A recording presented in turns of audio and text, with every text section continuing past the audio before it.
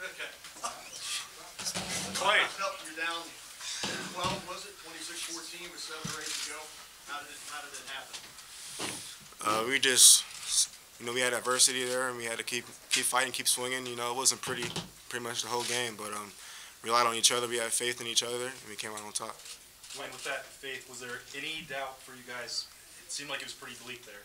Huh. At any point, did you guys think it's not it's not the night? Now with with me, uh, there's no, no there's never no bleak. You know, uh, every opportunity we get on the field is, a, is an opportunity to go win a game, and um, it was it was a tough one, but we wanted it tough as good, and um, helped us out a lot. Dwayne, what, what was said, if anything, before the last possession? And what was just kind of the, the feeling in, in the, in the huddle, but when you were gathering before that possession? You know, uh, it's kind of hard to prepare for moments like that, and uh, we do a lot with Coach Mick and conditioning and, and lifting, and we try to you know simulate those those hard moments. But um, all we just said is that we love each other. You know, whatever happens, happens. You know, we're gonna put it all on the line for one another, and uh, we did that.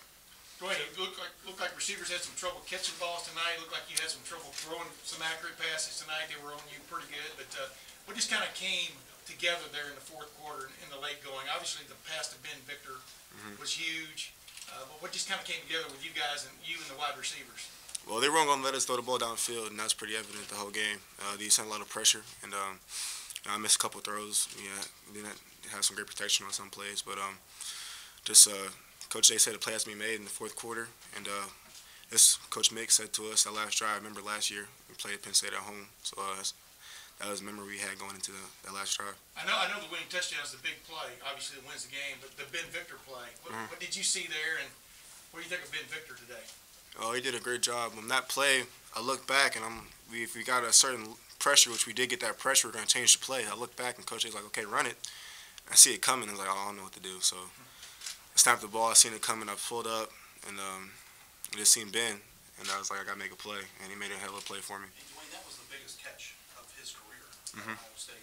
When you put a ball where you put it, where he has to go up and get it, I think that's been the vision of what he was supposed to do his entire career. Do you have, how much confidence do you have in a guy that really hasn't made a play like that? And, you know, is it just crazy to think that that's when it happened? I mean, Ben does it all the time in practice. He's a freaky athlete. You know, every Sunday we work on two minute drill and like, you know, situations like that.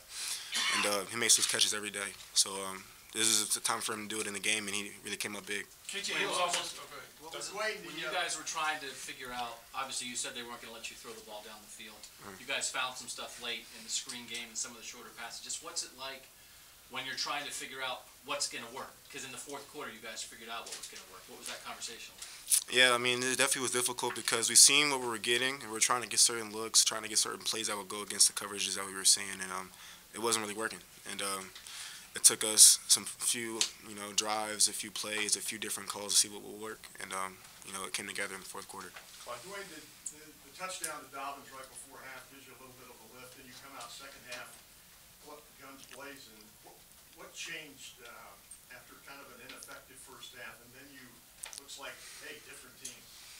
Yeah, I mean, kind of what happened versus TCU when we played them. We weren't really moving the ball the way we wanted to. You know, we weren't coming up big on third downs. And um, Jacob made a great play before halftime. You know, gave us momentum going into the second half. We got the ball and um, we drove down the field. But uh, you know, this credit to how how great our offense is and how much we rely on each other to make plays. Hey, Just one thing on McSorley, you, you played, admired him in high school coming up, the three state championships in Virginia. What was it like, kind of dueling him? He gets uh, four hundred and fifty yards total offense today. Well, everything that I was expected. You know, he's a hell of a player, fierce competitor. He makes a lot of plays, and he, he gave us gave us a lot of fits today. But I'm um, glad we came out with the W. When you talk about how you're always a forward thinker, Mhm. and obviously this game has a lot to do with how the season's going to pan out. When you're down by two scores late in the fourth quarter, do you think forward about what is at stake in the game, and how do you feel like you perform with your back against the wall the end there?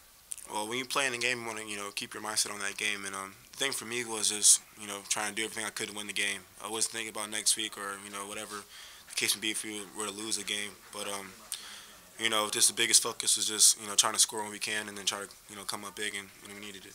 Last question. Miller- Dwayne, Miller said You were, you? Dwayne, you were so poised, you've been so poised through the first four games, and uh, you started off, it was a little shaky. How much of that was the environment, how much of it was what the defense was doing, and then you got it together? What was going on early in terms of the way you were playing?